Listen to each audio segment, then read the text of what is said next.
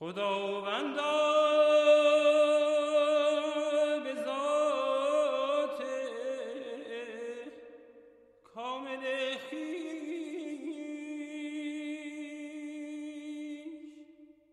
به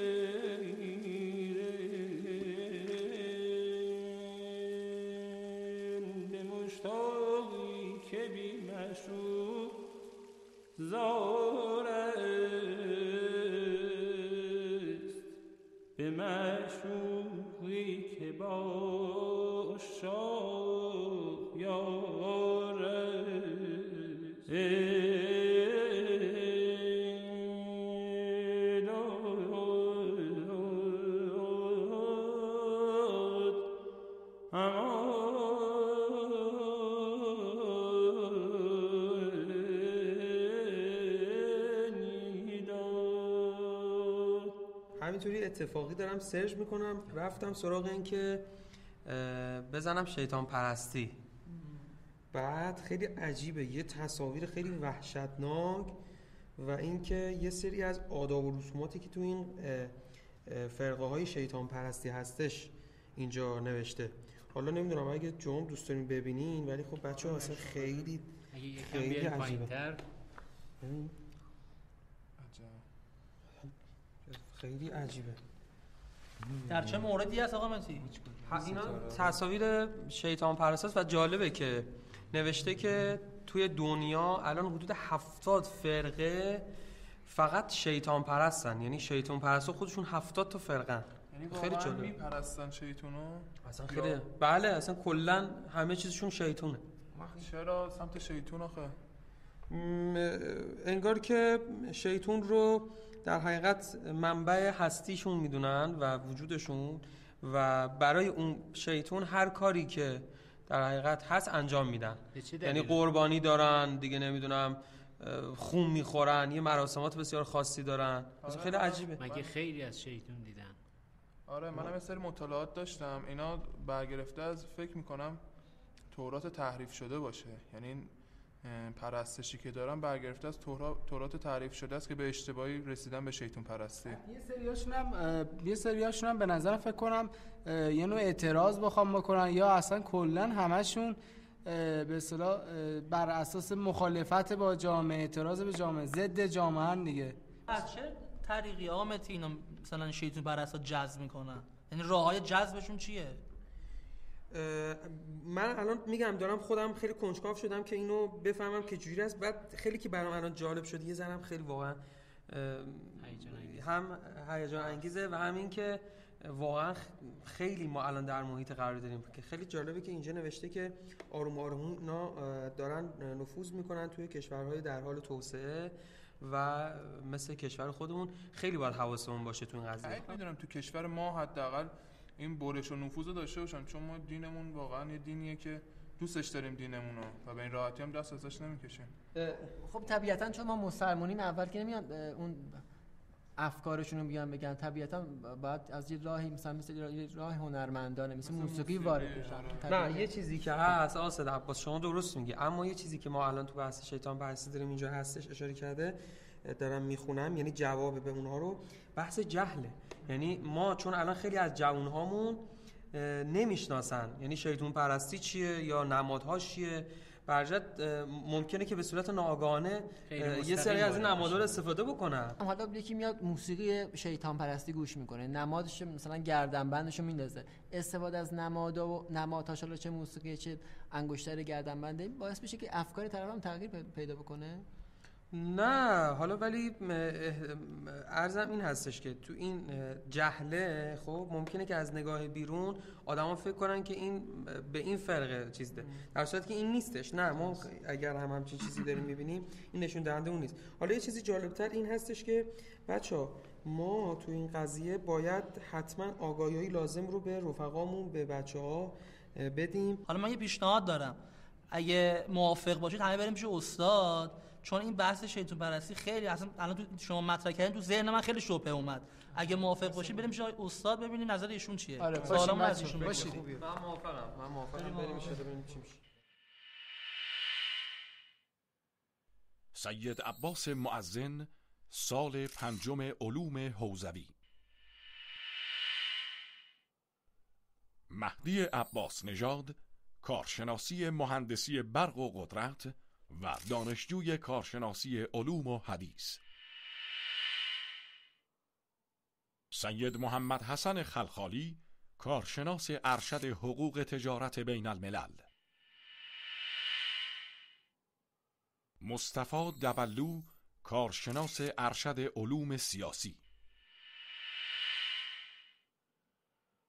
حمید رضا خلج امیر حسینی کارشناس مدیریت ورزش.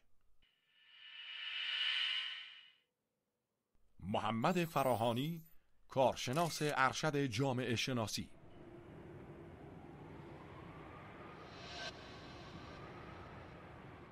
بسم الله الرحمن الرحیم و بهی نستعین. سلام عرض می کنم خدمت همه دوستان عزیز دانشجویان گرامی. خدای بزرگ را سپاسگزارم که این توفیق را عطا فرموده در محضر شما عزیزان باشیم با بحث نچندان خوبی عنوان خوبی نداره بحث شیطان پرستی یا سیتنیسم. توجه به اینکه دوستان فرمودن سوالاتی در این زمینه وجود داره و برخی از ابهامات و پرسش هایی هست که احیانا و احتمالا بنده بتونم پاسخ بدم در خدمت دوستان هستیم انشاءالله. امیدواریم بحث مفیدی داشته باشیم. مقدمتا من یک گزارش کلی از این فضا خدمت دوستان عرض کنم تا در خدمت سوالات و پرسش های دوستان باشیم.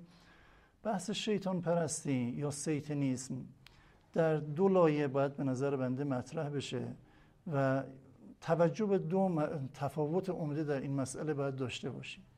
یک حوزه بحث تقدیس ابلیسه تبرعه ابلیسه یعنی ابلیس به عنوان یک موجود مشخص شناخته شده ای که در ادیان از اون خبر داده شده و یک دشمنی دیرینه ای با انسان و آدم داشته و داره یک عده‌ای در عالم در طول تاریخ بشریت گرایش به سمت تقدیس ابلیس پیدا کردن. گفتن خیلی حالا موجود بدی هم نیست. خیلی احیانا اگه بدی هم داره خطرناکه. ما اون رو باید تمجیدش کنیم تبرعش کنیم تقدیسش کنیم که از خطراتش در امان بمونیم.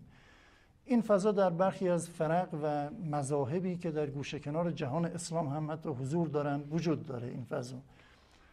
تاریخچه بلندی داره. تقریبا میشه گفت از قرن دوم سوم عالم اسلام یک عده‌ای در گوشه کنار جهان اسلام بودن که به این مسیر و به این اندیشه گرایش پیدا کردن. حتی سخنی به میان آوردن که ما کان موحد فی العالم مثل ابلیس. اصلا هیچ موحدی در عالم همچون ابلیس وجود نداشته. از اوج توحیدش بود و خداشناسیش بود که تن به سجده آدم نداد. عاشق واقعی فقط معشوق رو می‌بینه غیر معشوق رو نمی‌بینه. خدا که بهش فرمود سجده کن بر آدم این چون که عشق حقیقی و عشق واقعی به خدا داشت غرق در خدا شده بود دیگه نمی‌تونه سجده بر آدم یعنی غیر خدا کنه. این گونه توجیه کردن که البته توجیه خیلی پیش با افتاده و نادرستیه. اگر واقعا ابلیس عاشق خدا بوده اگر محب خدا بوده خب محبوبش بهش میگه که شما این کار رو انجام بده. بعد گردن کشی کنی و استکبار بورزی. نه من فقط تو رو می‌خوام. خب اگه منو می‌خوای من میگم این کار رو انجام بده. ولی با این شبهه خیلی ساده ای که به نظر بنده جوابشم خیلی روشن بوده ادعی به این سمت رفتن در عالم اسلام. هنوز هم در گوشه کنار حتی کشور خود ما داریم افرادی که گروهایی که 300 400 سال هم هست سابقه دارن اینا به تقدیس ابلیس می‌پردازن. ولی اندک شمارن در گوشه کنارهایی. بسیار محجور قرار دارن. اما هستن. در دو مناطق دیگری از جهان اسلام در کردستان عراق در مناطقی از ترکیه این گونه, گروه های گزارش شدن.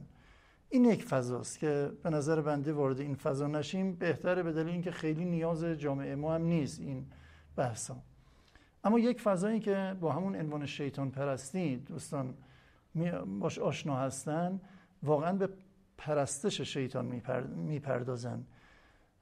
نه صرفا تبرعه ابلیس و یک گونه تقدیسش بلکه پرستش شیطان می‌پردازن. اینها خودشون هم دو طیفن. یه طیف موجودی به نام شیطان و ابلیس را قبول دارن. میگن شیطان وجود خارجی داره. منشأ قدرت است منشأ فعالیت است. یه طیف هم نه اصلا وجود خارجی به نام شیطان قبول ندارن. شیطان پرستی موقع میگن منظورشون اینه که اون هوای نفس خودت را پرستش کن امیال خودت را بهش میدان بده. هر چی ضد دین هست هر چی که ادیان گفتن انجام بده شما انجام نده. هر چی ادیان گفتن کار شیطانی است شما همون انجام بده. به تعبیر دیگر از روحیه دین ستیزی ناشی شده. این دو طیف اندیشه را که تحت عنوان شیطان پرستی مدرن یا شیطان پرستی فلسفی بعضا ازش نام برده میشه. بنیانگذار این اندیشه شخصی به نام آنتوان لاوی. فردی بود که در نیمه دوم قرن بیستم در مشخصا در سال 1966 با یک شکل ظاهری به خودش داد اومد موهای سرش رو تراشید لباسای سراسر مشکی برتن کرد اومد در جمع عده از دوستانش گفت من می‌خوام دینی به نام شیطان پرستی رو تأسیس کنم. و عده هم پذیرفتن. این حرف رو گفتن خب خیلی خوبه. چیه؟ اومدن با کپی برداری از مسیحیت کتابی چند سال بعد لاوی نوشت به نام انجیل شیطانی Satanic Bible انجیل یا بشارت شیطانی. کتاب مقدس شیطان پرستا شد. بعد از مدتی کتاب دیگری نوشت به نام شعائر شیطانی. آداب و رسوم این مذهب رو بیان کرد. یک کلیسا درست کرد. مراسم اشاع ربانی که درست میشه در در مسیحیت هست اینشان اومد یک معادل این چیزی درست کرد به نام بلک مس یعنی اشاع تاریک. فضای تاریک به جای نون و شراب اومدن مثلا یه تکه از گوشت قربانیانشون رو به در شراب می‌زدن یا در خون می‌زدن یا در کسافت هایی می‌زدن میخوردن برای اعتراض به فضای موجود در مسیحیت. و این دین را ایجاد کرد که حالا در ضمن سوالات دوستان انشاءالله مبانی اندیشه اینها و افکار و ایده هایی که دارن بیشتر گفتگو خواهیم کرد. در خدمت دوستان هست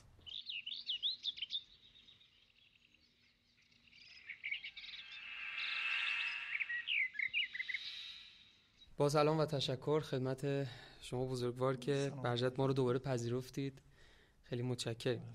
عرض بکنم که شما اشاره کردید به بحث خب خب فلسفه این شیطان پرسی چجوری شد اینها. اما ما فکر می‌کنیم که الان در جامعه کنونی ما چیزی که الان جوانها باش سر کار دارن قضیه ملموسه. نه به اون کیفیت که حالا یا شیطان رو بپرستن یا حالا به این وضعیت.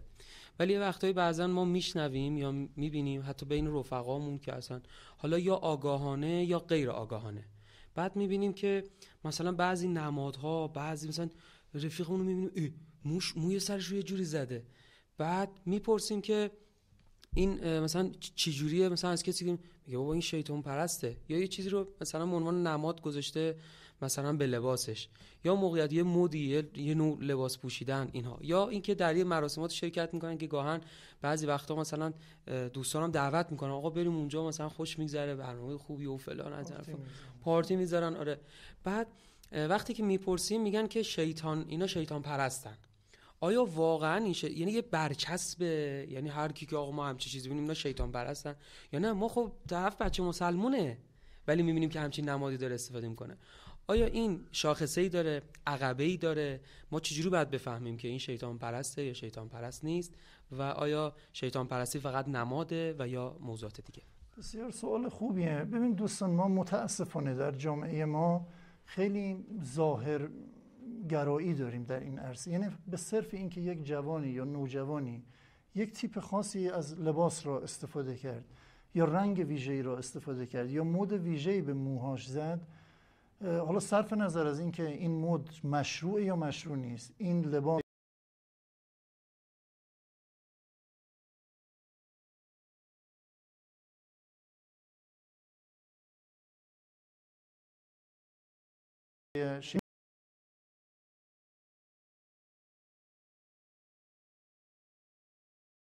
نه بنده این ظاهر و از این سطح باید یه مقداری بیرون بیایم به هر حال جوان و نوجوان تنوع طلبه. این یک حقیقت غیر قابل انکار. جوان و نوجوان مدگراست. این یک حقیقت غیر قابل انکاره. و اسلام هم نه مدگرایی رو مردود می‌دونه و نه تنوع طلبی رو مردود می‌دونه. مهم اینه که این مدها چه مدهایی باشن و این تنوع طلبی در چه عرصه شکل بگیره و در چه عرصه جهت داده بشه. ما متاسفانه چون در این عرصه ها کاری چندانی هم صورت ندادیم. فکر درستی هم نکردیم. مراکزی که بیان مدهای مختلف تولید کنن تنوع به لباس تنوع به رنگ تنوع به طراحی های مد مو و امثال اینها با چارچوب حفظ چارچوبه شرعی و چارچوبه اسلامی بدن. چون این کارو نکردیم تا فردی رو می‌بینیم که یک رنگ و لعاب دیگری رو داره یک ظاهر دیگری به خودش داده بلافاصله ممکنه اینو منتسب کنیم به برخی از این فرقه ها از جمله مثلا شیطان پرستی. بنابراین به ظواهر نباید حکم صادر کرد اما واقعیت اینه برخی از افرادم عالمانه و آگاهانه یعنی میدانه. میدانه که این مد کیه می‌دونه که این نماد چه گروهیه. حالا به چه دلیل آگاهانه استفاده می‌کنه؟ آیا همین که آگاهانه استفاده کرد لزوما شیطان پرسته؟ نه. گاهی می‌خواد متفاوت باشه. گاهی می‌خواد مورد توجه قرار بگیره. گاهی می‌خواد اعتراض به یک وضعیتی داشته باشه. از به این دلایل استفاده می‌کنه. اما از همین هم ادعی هستن که واقعا گرایش پیدا کردن. به تعبیر دیگر من بخوام این سوال رو دقیق تر بخوام جواب بدم این گونه است. در تبلیغات جدید در دنیا و به نظر من تبلیغات مؤثرم از همین طریق صورت می‌گیره. تبلیغات نمادینه. ابتدای موسیقی رواج پیدا می‌کنه. یک مد مو رواج پیدا می‌کنه. یه نوع کفش رواج پیدا می‌کنه. افرادشون که تنوع طلبن مدگران از اینا استفاده می‌کنن. بعد از مدتی که یک حالت اپیدمی داشت رواج پیدا کرد اکثریتی ازش استفاده کردن اون گروه های پشت صحنه ایدئولوژی پشت این نماد و مد را القا می‌کنه. میگه مثلا این وابسته به شیطان پرستاست. این وابسته به گروه که این رفتارها رو انجام میدن. این بلافاصله این روشنگری که میشه این اطلاع رسانی میشه عده زیادی پا پس می‌کشن. میگن ما فکر می‌کنیم فقط مد جدیدیه مدل نوعیه. حالا که مربوط به یه گروه شیطان پرستی یا فلان گروه ما استفاده نمی کنیم اما یک عده جذب همون ایدئولوژی میشن.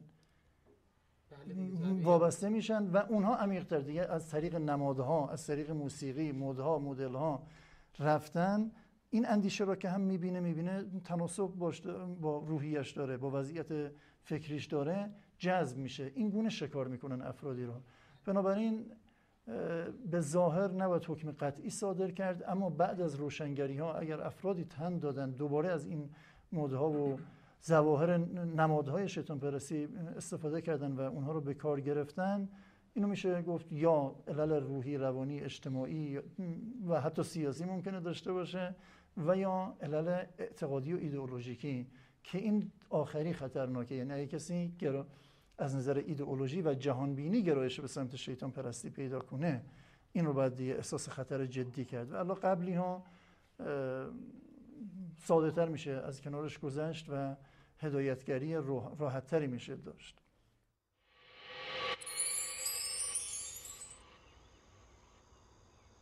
خدمت شما هستم. استاد تو فرمایشاتون اشاره داشتید که شیطان پرستان یه رابطه با مسیحیت و یهودیت دارن.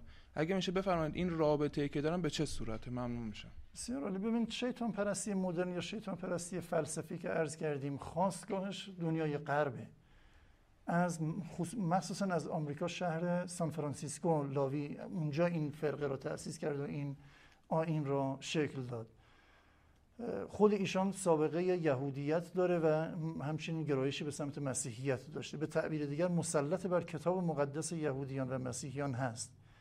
هم از نظر جغرافیایی و اجتماعی پس وابستگی به دنیای مسیحیت و دنیای یهودیت دارن. و هم از نظر فکری ادعای بنده اینه که شیطان پرستی مدرن شیطان پرستی جدید در حقیقت یک نگاه اوریان و پوستکنده و سریح به آموزه های تورات و انجیل درباره رابطه انسان و خدا رابطه انسان و شیطان رابطه شیطان و خداست. دقیقا بنده این ادعا رو دارم که شیطان ادعایی که شیطان پرستی پرستان دارن یعنی پرستش شیطان و منشأ خیر بودن شیطان اینا ادعاشون اینه که شیطان موجودی است خیرخواه موجودی است مقدس موجودی است قابل پرستش. ما چرا خدا را بپرستیم؟ باید شیطان را پرستید.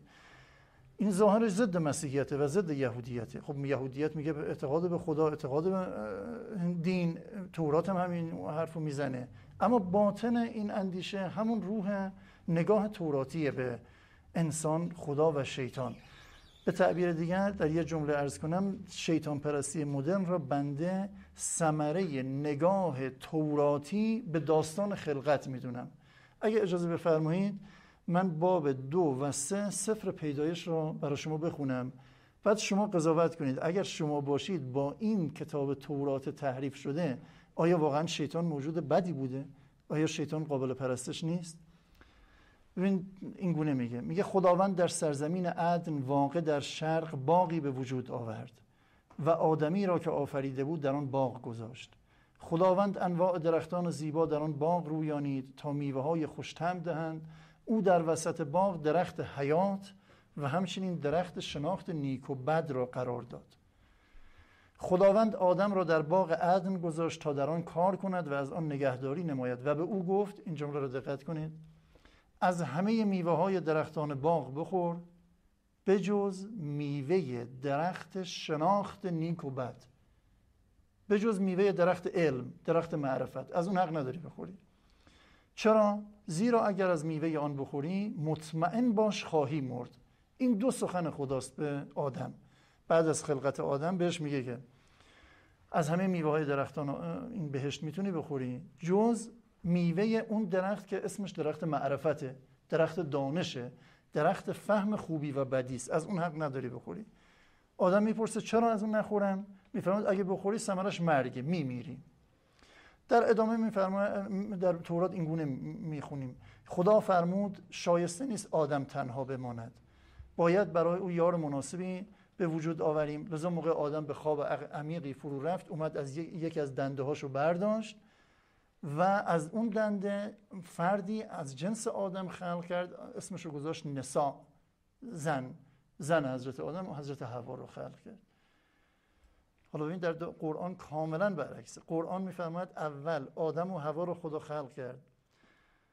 میفرماید علم آدم الاسماء کلها. وعلم آدم الأسماء كلها ثم عرضهم على الملائكة فقال أنبئوني فقال أنبئوني بأسماء هؤلاء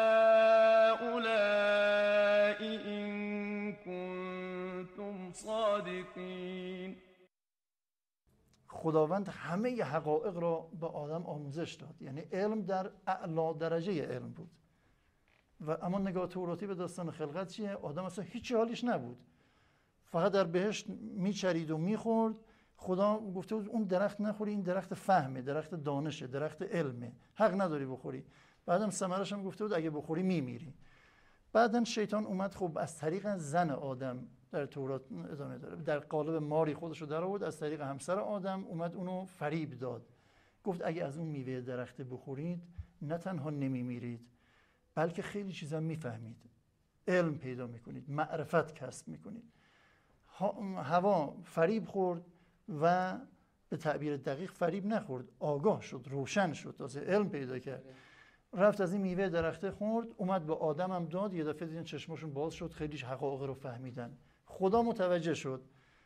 این حرف مار به در شیطان و یا ابلیس در قالب مار ظاهر شده بود این گونه گفت مطمئن باش نخواهید مرد بلکه خدا خوب می‌داند. زمانی که از میوه آن درخت بخورید چشمان شما باز می شود و مانند خدا می شوید و می توانید خوب را از بد تشخیص دهید. حالا من از شما سوال می کنم حرف شیطان درست بود یا حرف خدا؟ طبق این تفسیر. حرف شیطان درست بود. شیطان خیرخواه بود یا خدا؟ شیطان خیرخواه آدم بود. شیطان مروج علم و معرفت و دانش بود یا خدا؟ شیطان مروج بود. شیطان می‌خواست آدم چیز بفهمه خدا نمی‌خواست بفهمه. شیطان راست گفته بود اگه بخورید نمیمیرید. خوردن و نمردن هم اتفاقا. خدا دروغ گفته بود. هیله مکر و هیله به کار گرفته بود برای آدم و هوا. خب بعدا البته خدا موقع این کارو کردن خدا متوجه شد دست باشه شد چکار کنه. فرشتگان رو معمور کرد که از درخت حیات هم نخورن که تا ابد زنده بمونن. بعد به زن فرمود خدا رو به زن کرد گفت که حالا که این بلا رو سر من آوردی نقشه من رو برملا کردی درد زایمان تو را زیاد می‌کنم تو با درد فرزندان خواهی زایید مشتاق شوهرت خواهی بود او بر تو تسلط خواهد داشت. رو به شیطان کرد گفت پدرتو در میارم در تا ابد در جهنم میسوزونم انتقام گیری خدا شروع شد. حالا که نقشش برملا شده بود. حالا من از شما سوال می‌کنم. اگر واقعا ما معتقد به این تورات تحریف شده جعلی باشیم نباید شیطان رو تقدیس کنیم؟ نباید شیطان رو پرستش کنیم؟ این خیلی موجود خیرخواهی بوده که اصلا خدا بد ما رو می‌خواسته. خدا ما را یه موجودات ابله نفهم ناآگاه مز آفریده بود. و حالا اینکه نگاه قرآنی رو ببینید اولا خدا در قرآن ما نداریم خدا اول شیطان زن را فریب داد بعد زن انسان را آدم را فریب داد. این نگاه زن ستیزی که در غربم هست ریشش همینه همین اندیشه توراتی است اسلام میفرماید فازلهما هر دوشون رو با هم فریب داد و لغزوند. نه که از طریق زن مرد رو فریب داد. خدا نمیفرماید هرگز ما زن رو از دنده چپ مرد خلق کردیم. در قرآن ما همچین چیزی نداریم. خودش زن یه موجود اصیل اصالت داره در نگاه اسلامی. و نگاه به شیطان هم اینه که شیطان از روی استکبار سجده بر آدم نکرد. دید یه کسی که به مراتب فهم او بالاتر از همه هست. به مراتب مقربتر به درگاه الهی است. این استکبار ورزید حسادت ورزید و به این کارشکنی در کار انسان پرداخت. در پاسخ به این سوال عرض می‌کنیم که چطور ریشه در نگاه توراتی و انجیلی به داستان خلقت داره به نظرم روشن شد. این داستان خلقتی که ما در تورات فعلی می‌خونیم که مسیحی ها هم قبولش دارن خیلی گویاست که شیطان موجود خیرخواهی بوده موجود بدی نبوده علم دوست بوده معرفت دوست بوده علاقمند به گسترش معرفت و علم و دانش بوده. لذا باید پرستشش کرد احترام بهش گذاشت. منشأ همه قدرت های انسان همین شیطانه.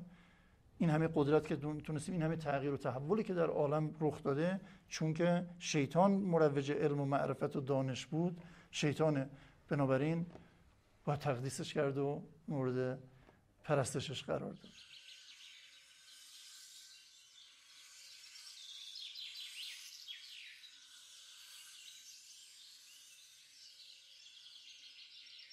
استاد ببخشید همونطور که می‌دونید بعد از افول کلیسا تو قرون وسطا یعنی بعد از قرون وسطا غرب اومد به سمت اومانیست می‌خوام ببینم الان مبانی فکری شیطان پرستی چیه و این اومانیست و انسانگرایی جزء مبانی فکری شیطان پرستی حساب میشه یا نه؟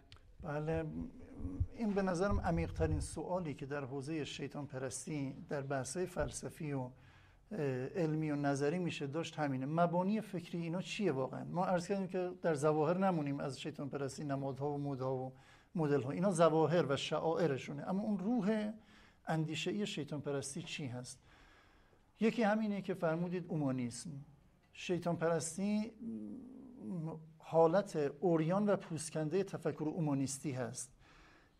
روح تفکر اومانیستی دوستان اینه که انسان خدای خودشه. این یعنی اومانیسم. به تعبیر دیگر به جای اینکه در ادیان گفته می‌شد خدا خالق انسانه. در تفکر اومانیستی گفته میشه انسان خالق خداست. بود و نبود خدا وابسته به منه. اگه من دوست دارم خدا باشه میگم هست. دوست ندارم نیست. واقعیت خدا وابسته به خواست و عدم خواست من داره. این یعنی اومانیسم. روح اومانیسم در این یک کلمه است که عرض استاد خب تو ادیان الهی هم این بحث مطرح میشه که حالا مثلا دین اسلام هم میگه که انسان خدای روی زمینه. خب الان در اسلام ما نداریم انسان خدای روی زمینه یعنی اینو یعنی این چیزی من... بله اینکه انسان قدرت زیادی داره خلقت و آسمان و زمین تحت تسخیر انسانه. این بله در قرآن داریم سخر لکم ما فی السماوات و ما فی الارض. هر چی که در زمین و آسمان هست تحت تسخیر و کنترل انسان قرار داره. یعنی انسان خدا قدرتی در بین موجودات بهش داده که می‌تونه رشد کنه تعالی کنه تعالی داشته باشه و همه کائنات در آسمان و زمین را تحت تسخیر و تسلط خودش قرار بده از اینا استفاده کنه و حتی می‌تونه سوء استفاده کنه جو را نابود کنه لایه اوزون را پاره کنه و خودش رو به ازمهلال بکشونه. این این مضمون رو داریم اما تعبیر این که انسان خدا باشه و اینا نه. این تعبیر در اومانیسم هست ارز کردم انسان خدای خودشه. به این معنا. خدا خالق انسان نیست ما در اسلام اینو نمیگیم. روح همه ادیان این انسان مخلوق است. خدا خالقه. در اومانیسم میگن انسان خالق است خدا مخلوقه. محور همه هستی انسانه. ما میگیم محور همه هستی خداست. خدا اشرف انسان اشرف مخلوقات خداونده. به تعبیر دیگر دو ایده اومانیسم و تئوئیسم مقابل همن.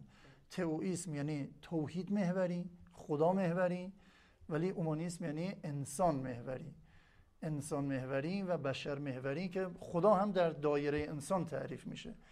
در شیطان پرستی همین است. لذا شیطان ارز کردم شیطان پرستی لاوی اصلا اعتقادی به وجود خارجی شیطان نداره. میگه شیطان وجود خارجی داره. خب شیطان پرستی یعنی چی؟ یعنی پرستش خود. یعنی پرستش هواهای نفسانی امیال شهوت و غضب رو به اوج برسون. خواسته های اینا رو عمل کن این میشه پرستش شیطان. برخی از نهله شیطان پرستی مدرن هست که اعتقاد به وجود خارجی شیطان دارن اما برخی دیگر که عرض کردم ندارن. شیطان پرستی انسان را برترین موجود در کل هستی می‌دونه. این یعنی متفکر اومانیسم. مبانی دیگری که در شیطان پرستی وجود داره یکی عدم اعتقاد به وجود خدا.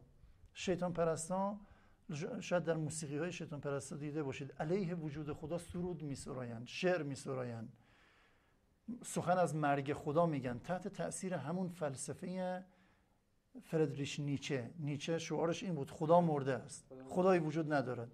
دقیقا شیطان پرستی هم اینو در قالب های اشعار شیطان پرستی موسیقی شیطان پرستی به وفور می‌بینید. God is dead God is dead God is dead خدا مرده خدا مرده. اعتقادی به وجود خدا ندارن. بنابراین موقع اعتقاد به وجود خدا نبود به قول داستایوسکی می‌گفت که اگر خدا نباشد هر کاری جایز است. شما بگو خدا نیست دیگه اباهگری محضه. دیگه یله و رهایی. خدایی موقع نباشه امر و نهی نیست معاد و سرنوشتی نیست. شما هستی و خودت هر چی می‌تونی انجام بده. شیطان پرستم همین نگاه رو دارن. یکی دیگر از مبانی فکریشون خودپرستی است که هم وابسته به همون تفکر اومانیستی و انسان پرستی است مخالفت با مذهب و دین هر گونه مذهبی و هر گونه دینی حتی مسیحیت حتی در ظاهر یهودیت و اسلام و ادیان دیگر اینا مخالفت می‌کنن مبارزه می‌کنن با آموزه های دینی. به شدت مبارزه می‌کنن. انکار معاد و جهان پس از مرگ. برخی از همین گروه های شیطان پرستی تشبیه و مثالی که دارن اینه. میگن ما مثل تلویزیونیم. ما مثل برقیم. برق موقع میره کجا میره آقا؟ برق اگه بره کجا میره؟ جایی نمیره. تمام از موتور به اصلا نیرو منبع برق موقع خاموش میشه برق میره جایی نمیره. میگن ما هم انسان هم همینطوری هستیم. مثل برقی میریم موقع میمیریم میریم تمام شد دیگه. معادی نیست سرنوشت نهایی نیست حساب بعد از مرگی نیست.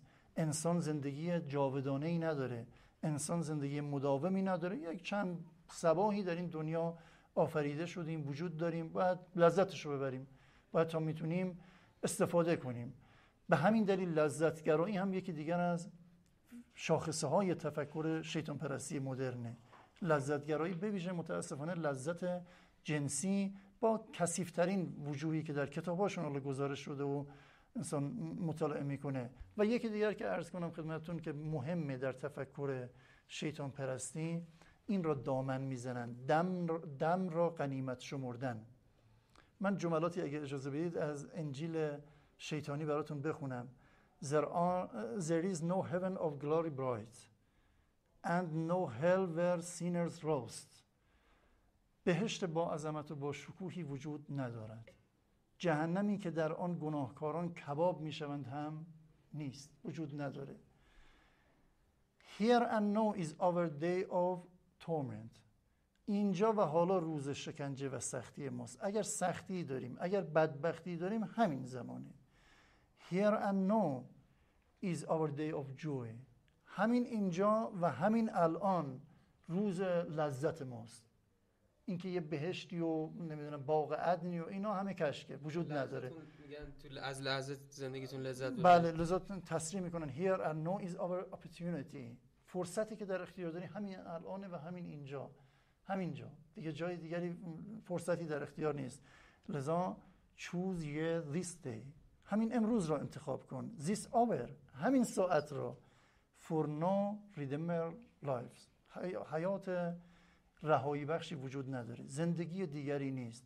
دم را غنیمت شمر در لحظه زندگی. کردن. اینکه حالا فردا چه بازی کند روزگاری کاری نداشته باش. اینکه فکر فردا کنی. دم را غنیمت شمردن به معنای لذت بردن از حال. به هر قیمتی شد. شما فقط اصالت لذت رو بهش عمل کن و داشته باش. اینها به نظر بنده از اهم مبانی فکری شیطان پرستی است. با تکیه بر این مبانی است که برخی از احکام دستورالعمل‌هایی صادر می‌کنن که به یکشون اشاره کردم. یا حتی برخی از نمادهایی که طراحی می‌کنن برخی از موسیقی هایی را که تولید می‌کنن بهش دامن می‌زنن تماما ریشه در این نوع مبانی داره. و استظهار دارید این مبانی در حقیقت مبانی مدرنیته هم هست. مبانی غرب مدرن هم هست. به همین دلیل در تکمیل اون ارزی که در پاسخ سوال دوستمون داشتم که یکی از ریشه های اساسی تفکر شیطان پرستی همون قرائت توراتی از رابطه داستان خلقته این رو هم زمینه می‌کنیم که شیطان پرستی تحقق اوریان و پوسکنده تمام مبانی فکری لیبرال دموکراسی است. مبانی لیبرال دموکراسی اومانیسم هست لذتگرایی هست ضدیت با دین هست. عدم ملاحظه معاد و جهان دیگر در سیاست گذاری ها در رفتارها در تصمیم گیری ها هست. ممکنه شخصا اعتقاد داشته باشن اما در هیچ تصمیم گیری مسئله جهان آخرت و اینکه روزی روزگاری ما خواهد آمد و باید پاسخگوی رفتارهامون باشیم هرگز در نظر نمی‌گیرن. می‌بینیم شیطان پرستی همین است. بنابراین در یک جمله می‌تونم بگم شیطان پرستی تحقق اوریان و پوسکنده مبانی انسان شناسی هستی شناسی ارزش شناسی و دین شناسی غرب مدرنه چیز خارج از این فضا نیست. برخی میگن ضدیت با غرب است. شیطان پرستی در تضاد با دنیای غرب ایجاد شده نخیر. شیطان پرستی همونه. ولی پوسکنده اوریان لخت در بازار خودش رو عرضه کرده. عده ممکنه لاپوشانی کنن ممکنه مخفی کاری کنن. نخون یا دوست نداشته باشن ثمرات اون مبانی و اندیشه هاشون برملا بشه. یا ممکنه ندونن واقعا این ثمرات رو داره. اما شیطان پرستی سریح و روشن این مبانی را آشکار کرده و نمایان کرده.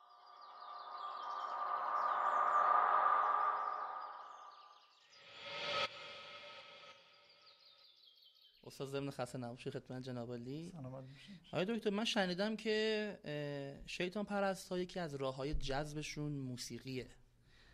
شما فرمودین که شیطان پرست ها علیه وجود خدا موسیقی درست کردن.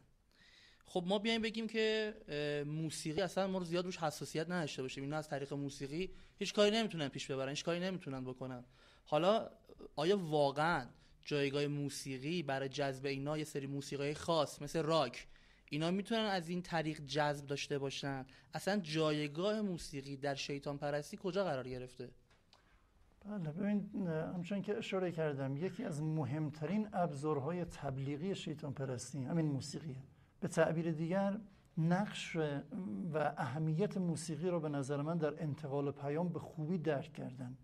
خیلی خوب فهمیدن این رو شیطان پرست زیرکانه فهمیدن. چون موسیقی استظهار دارید که انتقال پیام بدون زبانه موسیقی در حقیقت اینه.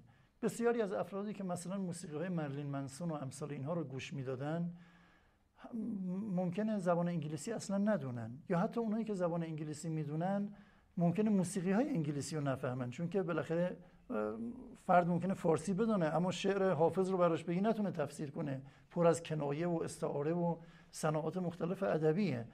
موسیقی های اونم همینطوریه. ولی موسیقی جذبش می‌کنه.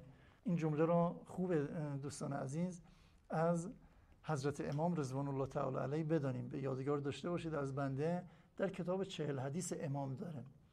این جمله رو میفرماید. استاد ما استاد عرفانشون مرحوم آیت الله شاهابادی که حضرت امام هر موقع اسمشون می آورد میفرمود روحی له الفدا. جانم فدایش باد. میفرمودن که هیچ چیزی اندازه گوش دادن به تقنیات اراده انسان را ضعیف نمی‌کنه. یعنی تقنیات ولو نه حالا از این سن تقنیاتی که شیطان پرستا تولید می‌کنن دوستان عزیز موسیقی راکن رول آزمایش شده در فضای آزمایشگاهی برای موش ها 15 دقیقه که گوش دادن سرگیجه گرفتن دور خودشون چرخیدن نفهمیدن از کجا اومدن بعد به کجا برن. حالا فرض کنید یک کسی یک ساعت در ماشینش در یک پارتی اینو موسیقی رو گوش میده. این مشاعری براش باقی نمیمونه. اقلانیتی براش باقی نمیمونه. به تعبیر دیگر اینو موسیقی طراحی شده که اقلانیت رو بگیره مشاعر فرد رو بگیره. حالا استاد عرفانی امام اینو موسیقی رو که نمیفرمودن. هر هر گونه تقنیات برای اراده خوب نیست. ولی اینکه از نظر شرعی ممکنه بگیم مشکلی نداشته باشه برخی از اینا که قناعی و طرب انگیز نباشه مشکلی نداشته باشه از نظر شرعی. اما اگه دنبال تقویت اراده خودمون هستیم این موسیقی ها بعضا مثل زهر حلال حلال هستن مهلکن کشندن برای روح. خب اینو موسیقی هایی که عرض کردم در شیطان پرستی تولید شدن ساخته شدن برای اینکه مشاعر و اقلانیت رو از فرد بگیرن. معلومه اثرگذاری فراوانی داره افراد را تخدیر می‌کنه. ارزان و در دسترس بودن موسیقی. یک دلیل دیگری استفاده از موسیقی از سوی شیطان پرستان. چون که فرد در هر کجا می‌تونه از موسیقی استفاده کنه. در خونش در ماشینش در امپیتری تو راه رفتن. اما مثلا فیلم سینمایی ممکنه تو راه رفتن شما نتونی ببینی. یک کتاب را هنگام راه رفتن نتونی بخونی. اما موسیقی می‌تونی استفاده کنی. کاهش سطح حساسیت خانواده ها و افراد نسبت به موسیقی. خیلی شاید خانواده حساس نباشن تو امپیتری نوجوانشون چی دارن چی داره گوش میده. اهمیت چندانی براشون نداشته باشه. اینا از همین فرصت دارن استفاده می‌کنن از قالب موسیقی سعی می‌کنن اون ایدئولوژی هایی که عرض کردن و اون مبانی فکری که گفتم را القا کنن. بنابراین به نظر من دلایل استفاده از موسیقی از ناحیه شیطان پرسته می‌تونه اینها باشه. با تشکر از شما استاد گرامی تا به اینجا بهرهمند شدیم از پاسخهای کامل و مشروع جنابالی اما به, به عنوان سوال پایانی بحث می‌خواستم از محضرتون این سوال رو داشته باشم که به صورت کلی علل و عوامل انگیزه های شیطان پرستی و علت گرایش افراد به این پدیده چی هستش چگونه هستش و اصولا چه راهکارهایی و چه تدابیری جهت مقابله با این پدیده حول محور اجتماعی دینی پیشنهاد می‌دید؟ بسیار ببین علل ترویج شیطان پرستی از سوی برخی از رسانه های غربی مخصوصا و از سوی حمایتشون از سوی برخی از سیاستمداران غربی به نظر من دو علت عمده داره.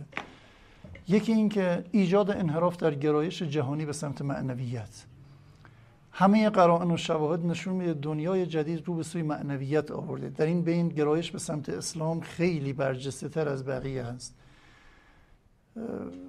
خب یکی از راههایی که می‌تونن برای مبارزه با اسلامگرایی جهانی به کار بگیرن باید این مسیر انحراف درش ایجاد بشه. علاقه ها عوض بشه زائقه ها دگرگون بشه. به تعبیر جوزف نای می‌گفت که اندیشمند بحث جنگ نرم و قدرت نرم جوزف نای. یه جمله ای داره میگه آمریکا در دیپلماسی عمومی خودش تلاش می‌کنه رؤیاها و انتخابهای جهانیان را سامان بده مدیریت کنه. انتخاب معنوی و انتخاب دینی که فرد می‌خواد داشته باشه با تبلیغ و ترویج شیطان پرستی می‌تونه انحراف درش ایجاد بشه. شما ببینید در همین جامعه ما علیرغم که تعداد قابل توجهی هم گرایش به سمت شیطان پرستی واقعا گرایش ایدئولوژیکی پیدا نکردن. اما حجم عظیمی از برنامه های فرهنگی ما برنامه های رسانه‌ای ما در یک دو سال اخیر ناظر به همین شد. این خودش یه انحراف بود در حقیقت یعنی مدیریت یه غرب ایجاد کرد به جای اینکه ما ایجابی کار کنیم به جای اینکه فرصت داشته باشیم در تبلیغ و ترویج معنویت اصیل خب یک چالش جلو ما ایجاد کردن یک راه انحرافی ایجاد کردن. موظفیم. وظیفه دینی اخلاقی شرعی ملیمون اقتضا می‌کنه به پاسخدهی بپردازیم. ذهنهای زیادی صرف مطالعه شیطان پرستی شد که بخونن نقد کنن بررسی کنن. برنامه های متعددی صدا و سیما پخش کرد شبکه های مختلف که اینو نقد کنن.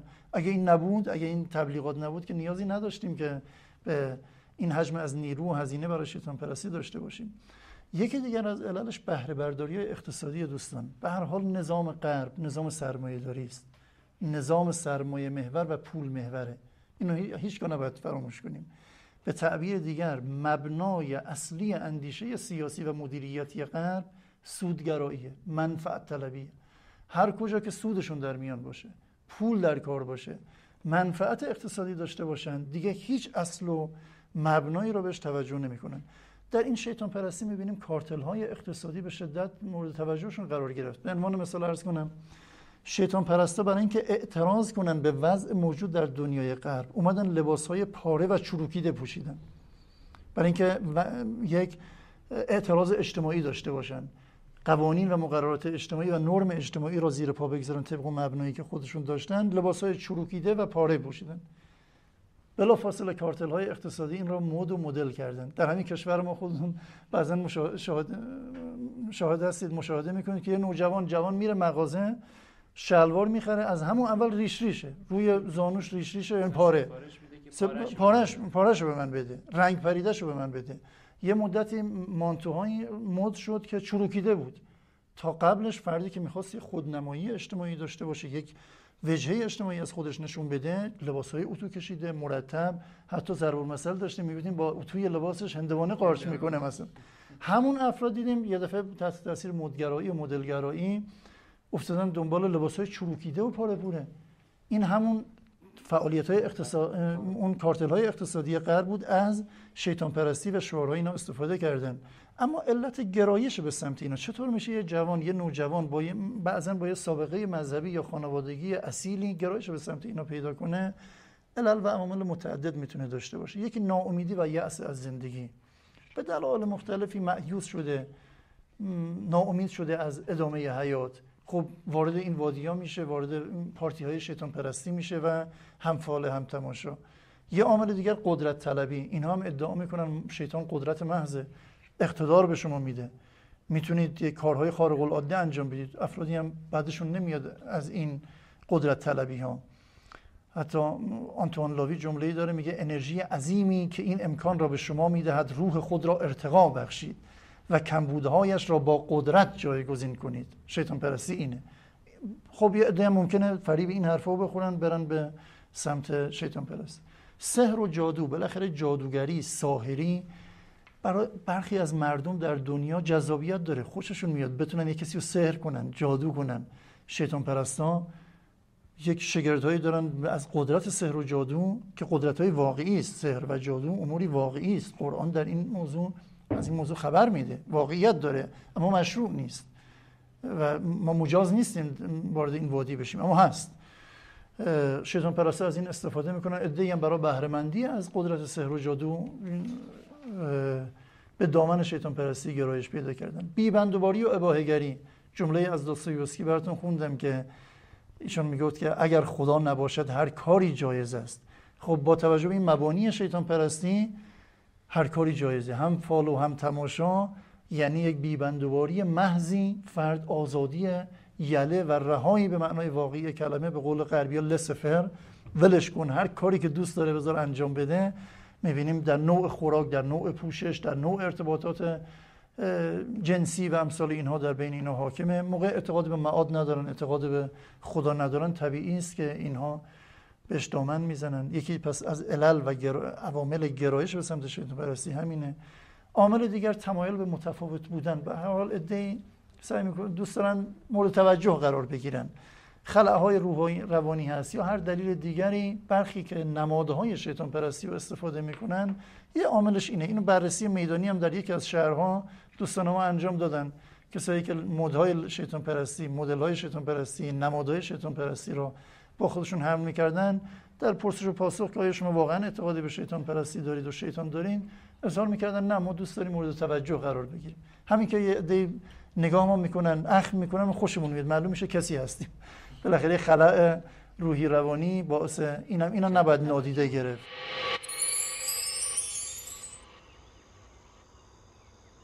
اما اون ادامه سوال حضرت عالی که راه مقابله چیه؟ ما باید چه کنیم؟ با توجه به کمبود وقتی که داریم من سعی می‌کنم خیلی مختصر در این زمینه عرض کنم عراضی داشته باشم چند نکته رو بگم. یکی نقدهای دقیق و مبنایی دوستان عزیز. ما همه دانشجو هستیم و گرایش بالاخره به بحث‌های دانشی و اندیشه‌ای داریم. اگر نقد ما سوری شد نقدهای ظاهری شد اومدیم مثلا گفتیم شیطان پرستا در برخی از پارتیاشون آدم می‌خورن خون می‌خورن. همین زواهر رو گفتیم که واقعا هم کارو می‌کنن. این معلوم نیست چقدر علیه شیطان پرستی حرف زدیم. بالاخره اون مبنای فکری داره. باید نقد مبنایی باشه. این رفتارها از چه مبنایی نشأت می‌گیره؟ همین کاری که اجمالا در این جلسه محور سوالات دوستان بود. و ما به قدر وسع جلسه گفتگو کردیم. این یه کاره. کار دیگر ایجابی باید انجام داد. طراحی مهندسی اخلاقی و تربیتی در سطح خرد و کلان. به هر حال دوستان چه شیطان پرستی چه بقیه فرقه ها چه بقیه عرفان های نوظهور هر گروه دیگری از خلع ها وارد میشه از کمبودها وارد میشه. دشمن در جنگ نظامی موقع می‌خواد حمله کنه از جبهه‌ای که شما نیروهای قوی و زبده داری که از اونجا حمله نمی‌کنه. میره از یه جبهه‌ای که کمترین نیرو رو داری. خلایی هست کمکاری هست از اونجا وارد میشه. به نظر بنده شیطان پرستی یه کده برا ما. اگه می‌بینیم بین جوان ما نوجوان ما برخی از نمادهای اینو رواج پیدا کرده زنگ خطره. بلکه یه علامت بیماری مثل عدسه که ممکنه به شما خبر بده که بدن عفونی باشه. یه سرماخوردگیه که ممکنه خبر از عفونت شدیدی در بدن بده. اینم هم همینطوریه. یه خبر خوبیه به نظر من. ما باید بدونیم یه خلعهای فرهنگی و تربیتی در جامعه ما وجود داره. بیایم اون خلعها رو شناسایی کنیم. پر کنیم اون موقع زمینه برای اینا برای فعالیتشون نخواهد بود. به تعبیر دیگر من میگم این تهدید رو میشه به فرصت تبدیل کرد به معنای واقعی کلمه. یه فرصته. خب ببینیم فرصت خودشناسی است. فرصت جامعه شناسی خودمونه. فرصت جوان و نوجوان شناسی خودمونه. فرصت کمکاری شناسی خودمونه که بدونیم باید چیکار کرد. یک راه دیگر تأکید بر اقلانیت و پرهیز از امور خرافی در تبلیغ معنویت حقیقی. دوستان عزیز بسیاری از این معنویت های نوظهور بسیاری از این گروه های انحرافی از جمله شیطان پرستی در بستر خرافگرایی رشد پیدا می‌کنن در بستر بحث های غیر اقلانی رشد پیدا می‌کنن.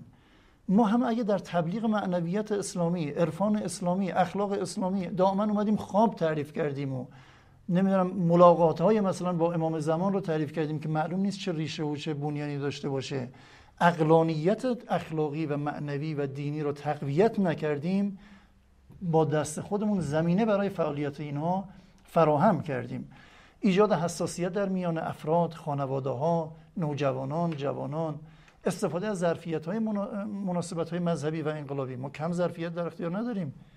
ظرفیت ماه رمضان ماه شعبان ماه رجب الحمدلله تشیع و فرهنگ اهل بیت جزء مذاهب پرمناسبت بی‌نظیره خب از این مناسبت رو باید به خوبی استفاده کرد. معرفت دقیق عرفان اصیل اسلامی اخلاق اصیل اسلامی گفته بشه. اینها نقد بشه به مناسبت های دعوای مربوط به انقلاب حوادث انقلاب یاد شهدا اسبه هایی که و الگوهایی که از بین شهدا داریم عارفان حقیقی که به شهادت رسیدن. اگه اینا گفته بشه خب زمینه ای برای فعالیت اینا نخواهد بود به نظر بنده. معرفی الگوهای عینی. و بالاخره دوستان جوان هستن. ما یه سنی ازمون داره میگذره و رو به حیات هستیم. حیات اصلی. دوستان عزیز یکی از مهمترین راه ها که ما باید تاکید کنیم برش خودسازیه. اینکه یه عده مثل بنده ممکنه فقط روحی نقادی داشته باشه این نقد کنیم. حواسمون به خودمون نباشه. خودسازی به منظور جامعه سازی. اگر می‌خوایم جامعه ساخته بشه اگر می‌خوایم جامعهمون واکسینه بشه باید خودمون اول واکسینه کنیم. مطمئن باشید یک فرد یک جوان معنوی اخلاقی معتقد یک منبع عظیمی از انرژی به اصطلاح مثبت انرژی الهیه. در جامعه در خیابون که داره راه میره اطرافش هم نورانی می‌کنه. اطرافش رو هم منور می‌کنه. بنابراین از خودسازی قفلت نکنیم. راه مبارزه مهم با اینا اینه که خودمون رو هم در جهت فکری و هم در جهت عملی تقویت کنیم و یک خودسازی قوی داشته باشیم انشاءالله. از صبر و حوصله همه دوستان عزیز تشکر می‌کنم و السلام علیکم و رحمت الله و برکاته. اللهم صل علی محمد و آل محمد و عجل تشکر. امروز گذشت تا